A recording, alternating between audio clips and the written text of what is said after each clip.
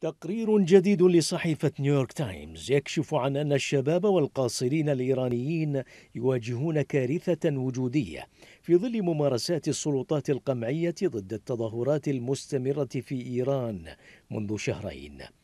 الصحيفة ذكرت أن السلطات تستهدف آلاف القاصرين الذين تقل أعمارهم عن 18 عاما لمشاركتهم في الاحتجاجات مؤكدة قتل خمسين قاصرا في الأقل وفق مقابلات مع ناشطين ومحامين إيرانيين وذوي القتلى.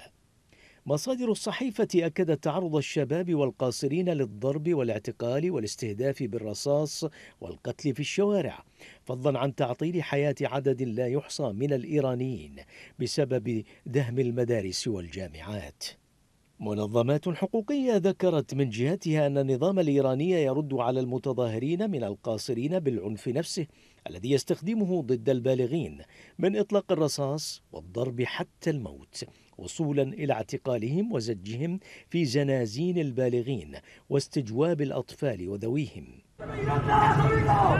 التظاهرات المستمرة في إيران منذ شهرين بسبب قتل شرطة الأخلاق الشابة مهسا أميني يبدو أنها تؤرق النظام الإيراني وتؤلمه لدرجة دفعت محكمة إيرانية إلى إصدار أول حكم بالإعدام على متظاهر أدين بتهمة نشر الفساد في الأرض.